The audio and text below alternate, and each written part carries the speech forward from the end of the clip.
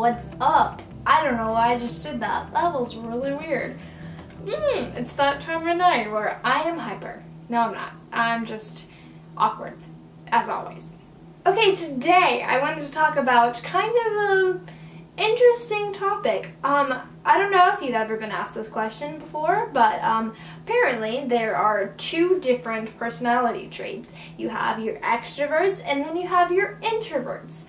For the longest time, I thought I was an extrovert. I just spit everything in the extrovert traits. I was just like not an introvert at all. Like no way could I possibly even be a little bit of an introvert. And I even made a whole video last year about being a shy extrovert and how it was like complicated, like being a shy person and being an extrovert and how I was super duper confused and all this stuff like that. I had heard someone talk about something called an ambivert a little while ago, like before I made that video, and they were explaining what an ambivert was, and I didn't really like fit it, at least I didn't think that I did, um, because I don't know. It just didn't seem like me at all. Until I realized I was wrong. I'm just definitely an ambivert. Let me explain to you how I found this out, what an ambivert is if you're a little bit confused because it's kind of just like the gray area that nobody talks about.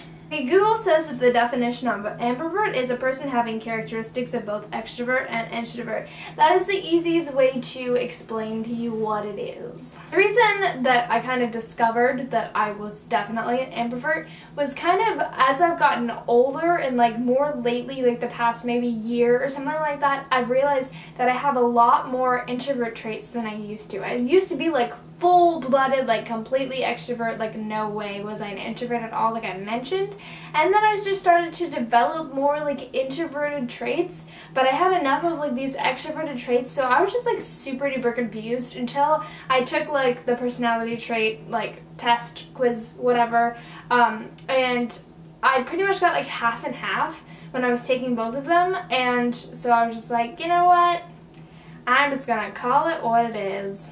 An extrovert is someone who gets their energy from being with people, being going to parties, hanging out with friends, going to the grocery store, just anytime where they're surrounded by other people, they gain energy and they need to be around people.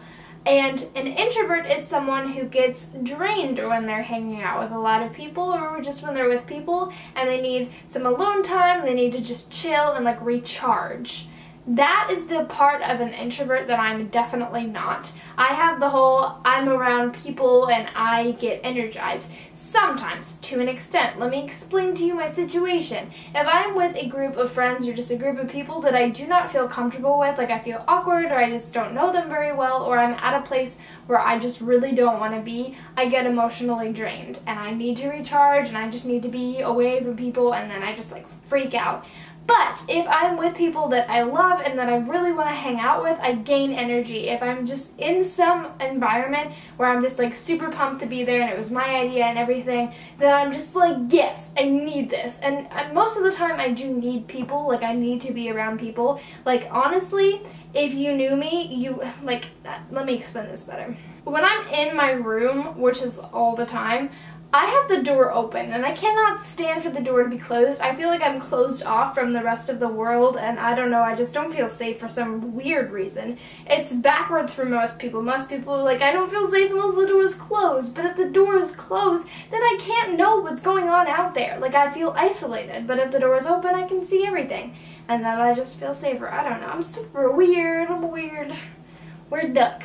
I feel like it's a classic introverted thing to love cats, and if, if you don't know, I, I love cats. So, I mean, cats are just super like secluded and they're super like independent and just like sassy and they only like you if they really like you.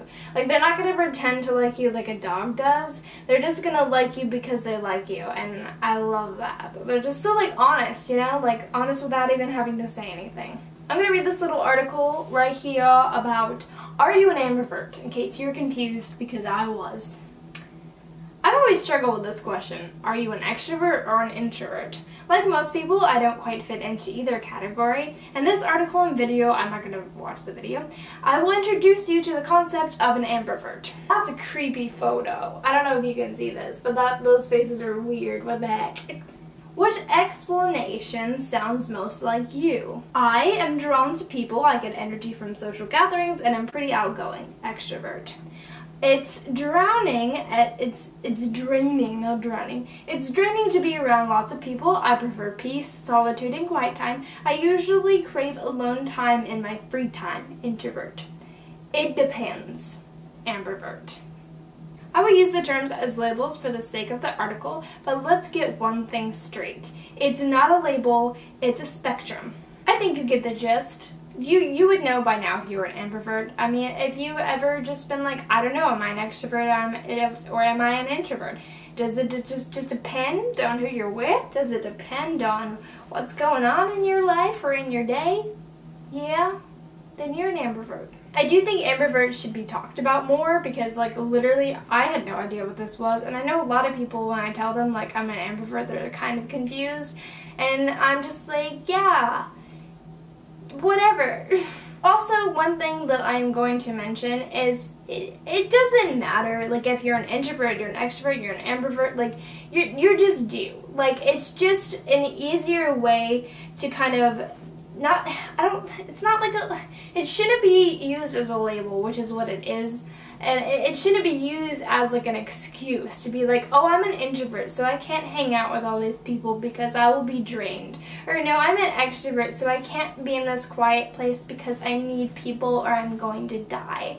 Like it should never be used as an excuse to like not do something or not want to do something just because of your personality trait. Like, that's ridiculous. Like, no. So, that's what I have to say about it. So, um, you can take, I'm going to link a couple quizzes down below if you guys want to take them because it's just kind of fun to, you know, know what you're like. Yeah. I wish my hair would cooperate today. It's like second day here, so it's like still like clean, but it's like a little dirty and it's like lacking volume, so I had to like put dry shampoo in it and it's just not doing what I want. I'm getting it done tomorrow though. I'm getting it cut and I'm getting my highlights. Or actually, when you watch this, it would have been yesterday that I got it done. Because I filmed two videos in one night because I'm a boss. Bye, I'm leaving. I need to edit. I'll see you later. Bye.